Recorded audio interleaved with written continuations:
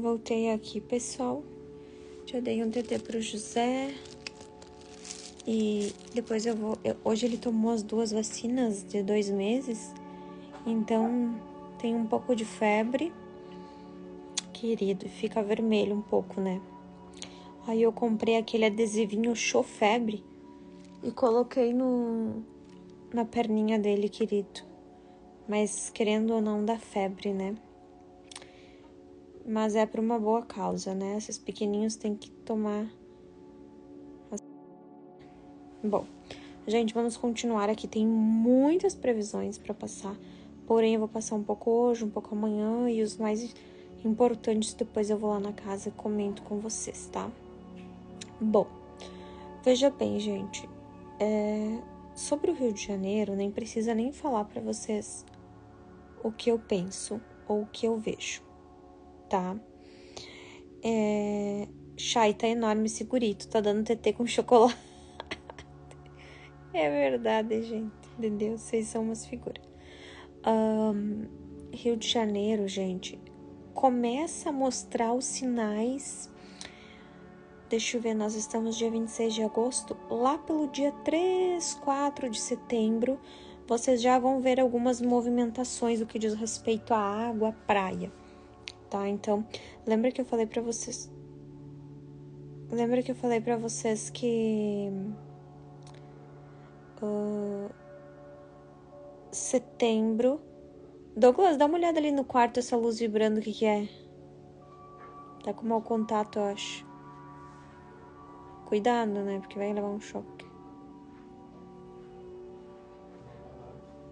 Tu vai ver balada. Ai, gente, aqui tá com tudo meu contato, tem que arrumar essas coisas aí. Então, Rio de Janeiro, a partir do dia 3 de setembro, tá?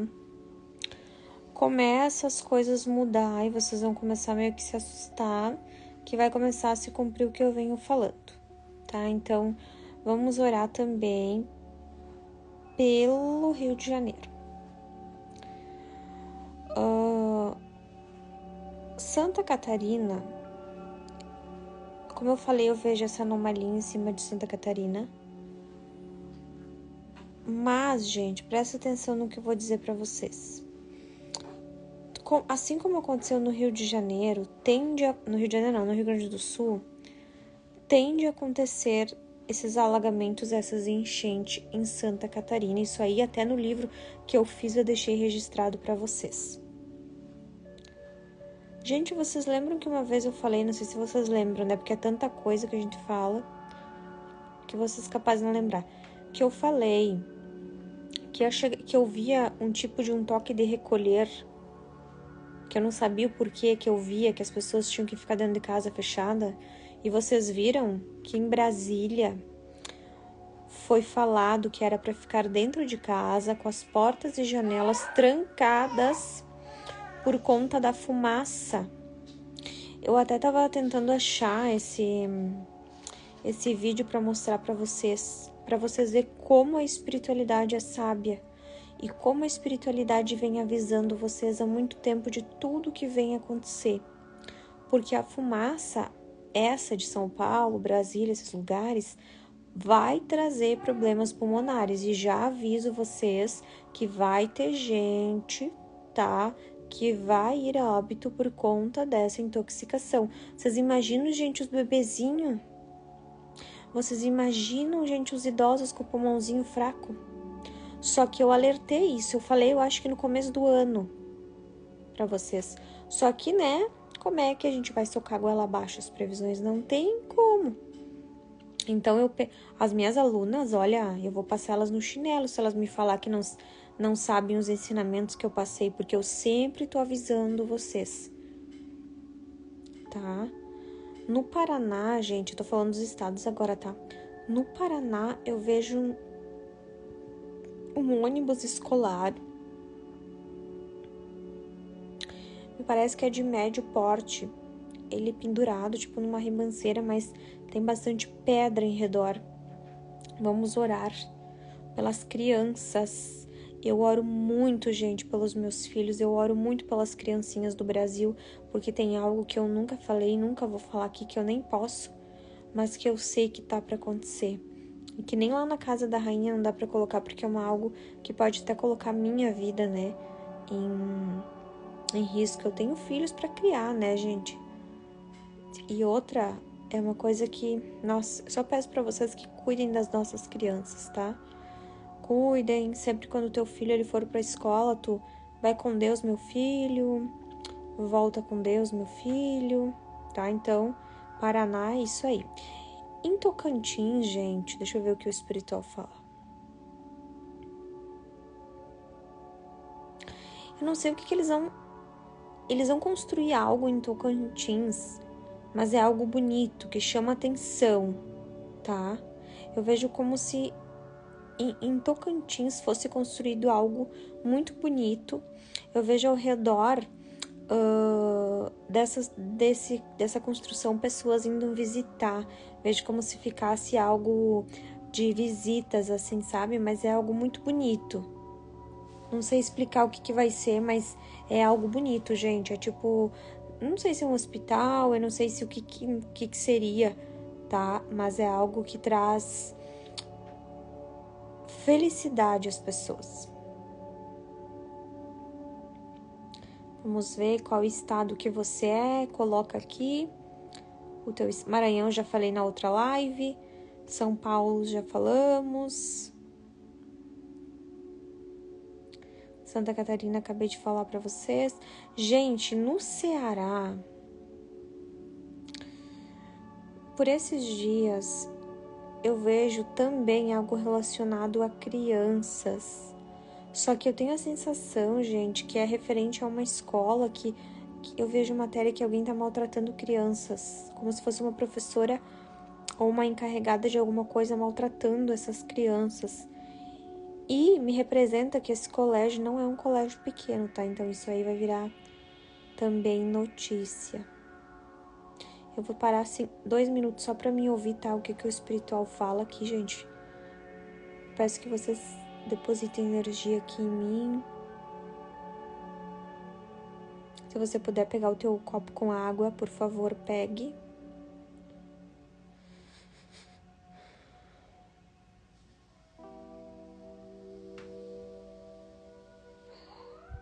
Gente, eu consigo ver uma mulher pegando no cabelo da outra. Só sei que um cabelo é claro e o outro é castanho médio. E essa pessoa questiona assim: por que, que tu fez isso? Tu é louca? Mas são duas pessoas famosas ou então conhecidas, tá? Isso aí viraliza de uma forma errada também, tá? Por, por um assunto bem bestinha, assim, não é nada de, de importante. Mas me parece que vai ser algo que bastante gente vai conseguir ver, tá? Vai virar até um meme isso aí. Deus perdoe.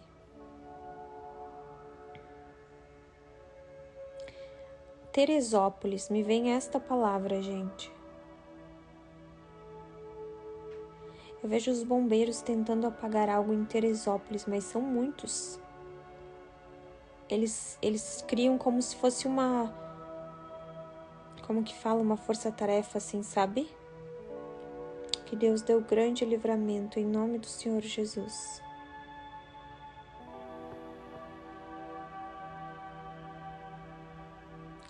Mas, gente, sabe que eu, eu vejo uma coisa assim que eu fico pensando aonde que as pessoas vão parar por causa da estética, né?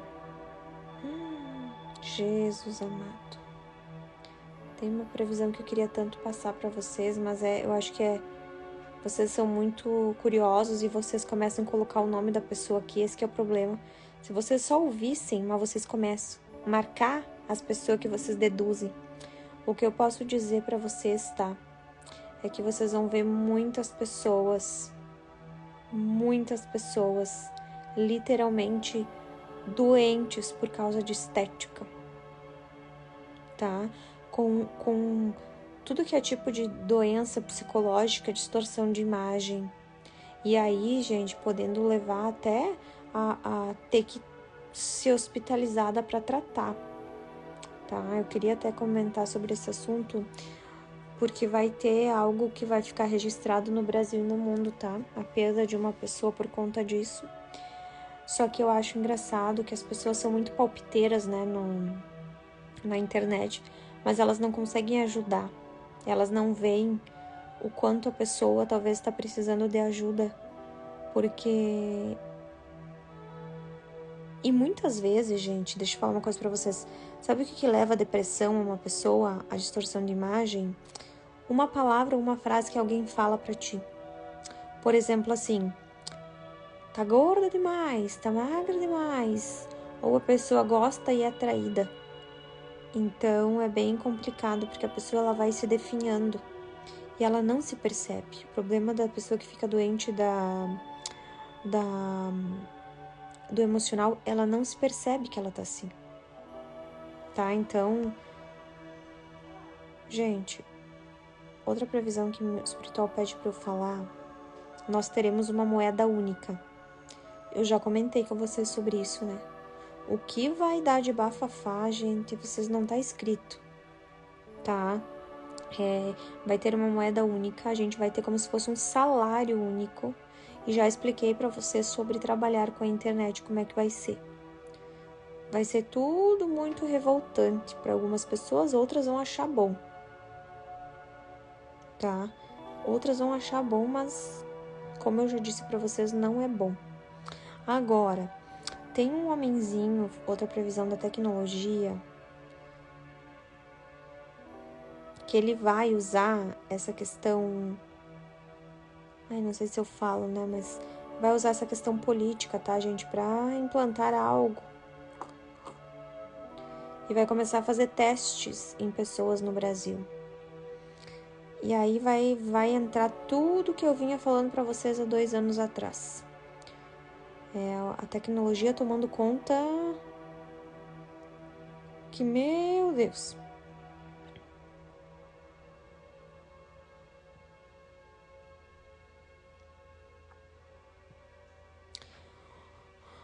Olha que coisa, gente. Eu vejo uma cena assim. De um avião, tá? Só que quando eu olho, eu vejo esse avião, mas quando eu olho para baixo, eu vejo muito gelo. Aí eu queria ter alguém podendo traduzir em desenho para mostrar para vocês, que eu acho que ia se tornar mais fácil. Eu vejo gelo embaixo. Agora, eis a questão: se esse avião ele cai nesse gelo ou se em um lugar que tem muito frio, pode simbolizar também, mas eu vejo esse avião aí caindo, só que me representa lugar que tem gelo, gente. Na minha percepção, é isso. Mas vocês saibam, e eu quero deixar claro, gente, porque às vezes acontece a previsão e vocês falam assim, ai, não era bem assim. Mas, gente, eu tenho que ainda. Eu tenho que ainda explicar como eu estou vendo. Então, algo referente a um avião e gelo. Já de antemão, como eu sempre falo, se apegar em Deus e a orar para que não ocorra ou ao menos que não aconteça nada com pessoas que estiverem dentro, certo? É isso que eu quero que vocês vibrem. Vocês sabem que a nossa vibração tem muito poder. Gente, olha que coisa mais bizarra que eu tô vendo aqui. Vai vir uma moda, como se fosse algo voltado aos dentes, crente os pai. Eu não sei o que, que vão fazer nos dentes, tá, gente? Só sei que vai virar moda ali entre famosos. Um tipo de um dente. Eu não sei se é um modelo de um dente ou uma estética. Sei que coisa mais, coisa mais ridícula do mundo, tá? Isso aí vai. Isso aí vai vir aí nas mídias e não vai demorar muito, tá? Agora, sobre uma pessoa com Z, um homem que está literalmente passando por processos depressivos. Eu vou tentar canalizar a energia, tá? Já vou falar sobre Paraíba também, tá, gente? Já vou falar sobre os outros estados só um pouquinho. Eu vou tentar canalizar a energia deste homem com inicial Z. Deixa que eu não fiz previsão para ele ainda, então eu tenho que canalizar. Pera aí. Eu vou imaginar ele e vou tentar ver o que, qual é a energia que eu capto.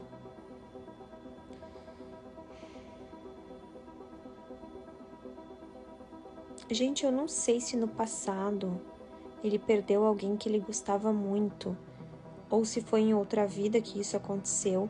Eu vejo como se fosse um eu vejo como se fosse uma perda de uma mulher que ele teve, não sei se na infância ou se em outras vidas, meio que criou um buraco inconsciente na cabeça dele. E esta pessoa tá passando sim por processos depressivos, vai dar um baita de um tempo na carreira, tá? E também o que eu vejo aqui que me chama atenção, gente, um problema respiratório muito grave, tá? Ele tendo que tratar. Olha, pode ser que ele até já sabe desse problema, é por isso que meio que entrou aí também nessa nessa depressão. Gente, depressão não é brincadeira, tá? Deus, vamos orar por essa pessoa, porque a depressão é algo que não dá para te palpar. Já falei para vocês que é um espírito terrível. A pessoa não, olha, meu Deus, tá? Vocês sabem quem é, mas não fiquem palpitando ali. Não é o Zé Felipe, tá? Só para deixar claro, vocês já sabem quem é, mas eu não gostaria que fosse falado. Eu ia falar sobre o Japão, mas eu não vou falar por quê. Eu fui convidada para um podcast no Japão, gente. Até eu acho que o, o diretor do podcast está aqui, né? Deixa eu até fixar aqui ele para vocês. Deixa eu ver se ele está aqui. Parecia que ele estava aqui. O Leandro, deixa eu fixar ele aqui. Ai, não consigo fixar ele aqui, mas eu vou. Que ele não fez comentário, ele só tá aqui, daí eu não consigo fixar. Mas eu fui convidada pro podcast dele no Japão. E eu vou deixar para falar sobre o Japão no podcast dele. Quero que vocês acompanhem o dia que eu for. Bem, que eu for, né? Online, no caso, né, gente? Mas é no Japão, né? Então isso que importa. Ai, gente, brincadeiras à parte. A coisa é séria mesmo. E eu vou deixar. Eu vou deixar para falar sobre isso lá. Chay é o Zé do Caixão. Não, não é o Zé do Caixão, querido. O Zé do Caixão nem existe mais, eu acho. Como vocês brincam, né, com a espiritualidade. Vamos ver o que mais que o espiritual nos revela. Paraíba, como eu falei. Uh, eu não sei, gente, eu vejo pessoas com umas camisetas coloridas em Paraíba. Não sei se elas estão fazendo um tipo de uma manifestação e elas têm como se fosse um pompom na mão. Sabe aqueles pompom, gente, de torcida? Eu vejo isso elas chacoalhando esse pompom assim. Mas elas estão felizes, tá? Não vejo elas tristes. Eu vejo que isso vai chamar a atenção de bastante pessoas na Paraíba.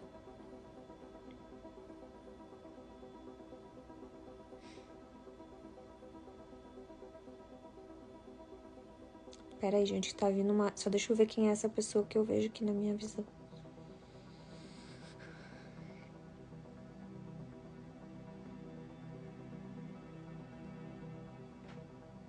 Ai, gente, credo, eu não sei por que que eu. Como eu tomei uma. Uma regra juntamente com a minha equipe de nós nunca mais falar nome, né? Pra não dar confusão e até para respeito, né? Da, a respeito da, das pessoas, né? Mas eu tenho uma previsão que eu já venho falando para vocês. Eu vejo uma cantora que ela vai nos deixar muito jovem, tá? Eu poderia dizer de que maneira que ela vai nos deixar, mas eu acho que é muito apavorar as pessoas, tá? Só que eu vejo que as mesmas. Eu tenho uma sensação de nostalgia de estar exatamente no dia que aconteceu a morte da Marília Mendonça. Parece que eu vou ter a mesma sensação, tipo, nossa, eu tentei avisar. Eu vejo que eu vou ficar pensando assim. Eu tentei avisar. Mas as pessoas não nos credibilizam muitas vezes. E essa pessoa, essa cantora é uma cantora jovem. Eu vejo. É engraçado porque eu vejo pessoas com cartazes, pessoas passando mal por causa disso. Ai, que horror, gente. Se vocês conseguissem ver, eu acho que vocês iam entrar em pânico, porque não é fácil. Ver. E eu vejo que isso está muito próximo de ocorrer, gente.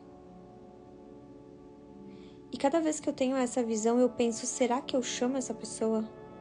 Ou será que não? Porque muitas vezes o direct ele é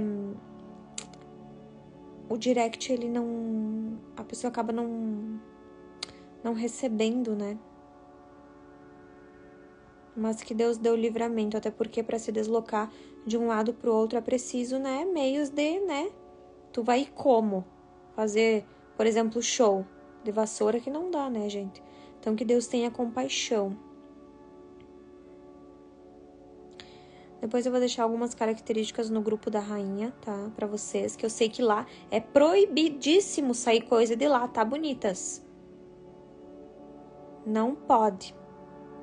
Não pode. Então depois eu vou lá quando for uma meia-noite. Outra coisa que eu queria dizer para vocês. Eu já falei que eu vi a Bruna Marquezine, essa eu posso falar que é uma previsão boa, né? Gestante, gente, com um nenezinho vejo essa, apesar de não estar nos planos, eu vejo ela se sentindo realizada. Eu vejo ela se sentindo feliz. E criança é uma benção, né, gente? Querendo ou não.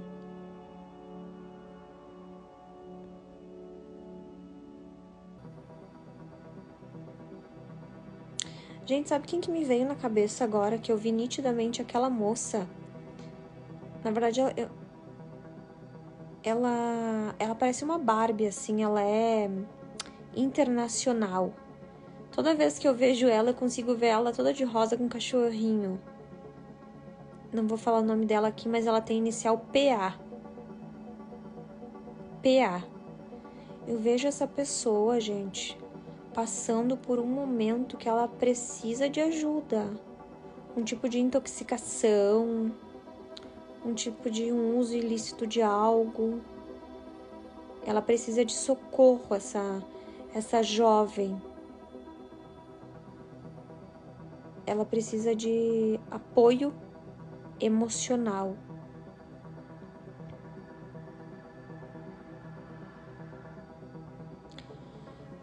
Quando eu fecho os meus olhos, a casa da rainha Shai é a melhor experiência da minha vida. Ai, que lindo, guria. Adorei. Vou até printar teu comentário. Posso? Amei. Gratidão, guria. Quem quiser entrar, inclusive, clica no link, tá? Gente, quando eu fecho os meus olhos, eu vejo assim, ó. É uma, uma, é, é uma coisa literária que eu vou falar aqui para vocês entenderem, porque para mim também não é fácil interpretar, tá, gente? É, eu vejo o sol e o mundo é como se o Sol ele fosse um pouquinho mais perto do mundo. Uma, um tipo de uma aproximação. E aí eu vejo nas, nas redes sociais falando, né?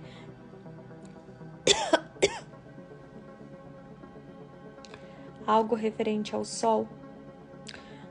Muita gente morrendo desidratado. Gente, nós... lembra que eu falei também sobre o sol, que nós íamos ter toque de recolher por causa do sol e que nós, ir... nós iríamos ter um horário específico para estar na rua. Gente, depois eu vi uma previsão agora, o espiritual pede para não falar mais, tá? E eu vou lá na casa depois conversar com vocês, tá bom? Eu vou desligar agora porque o Douglas tem que comer. Ele tá segurando o José. E depois eu seguro o José. Daí ele come, depois ele segura o José, eu vou tomar banho. E depois ele segura o José, eu vou na casa. E assim nós vamos. Que não é fácil, né? Que eu treino o José, o Zac, os grupos, os atendimentos, tudo, tudo, tudo, tudo. Eu vejo. Ai, não, eu vou botar, acho que lá no grupo da rainha depois. É muita informação para a cabecinha de vocês, deixa quieto. Amanhã eu faço mais uma parte, nós vamos indo assim. Eu vou trazendo as informações com responsabilidade. E aí fica mais bonitinho para vocês, tá bom? Um beijo, gente. Deus abençoe o coração de vocês. Muito obrigada por vocês estarem aqui, porque se não fosse vocês, né, eu não seria clarividente e também não teria, de certa forma, um trabalho, né? Que eu considero ser terapeuta, sim, um trabalho eu considero que Deus me deu uma missão e graças a vocês eu consigo estar é, cumprindo isso, tá bom? Beijo, gente. Muito obrigada por essa live abençoada. Depois eu vou lá no grupo, vou deixar uma oração. Porque... Ai, hoje de tarde eu deixei uma oração bem forte lá. E deixei uma técnica para você ganhar dinheiro imediato. Você não tem uma babá aí, não. Eu optei por não ter babá. Eu optei por fazer tudo sozinho. Tô só pena e bico, só a capa da gaita, mas estamos aqui. tá bom, gente? Um beijo. Tô ansiosa demais para estar em Florianópolis com vocês. Tchau, tchau e até amanhã.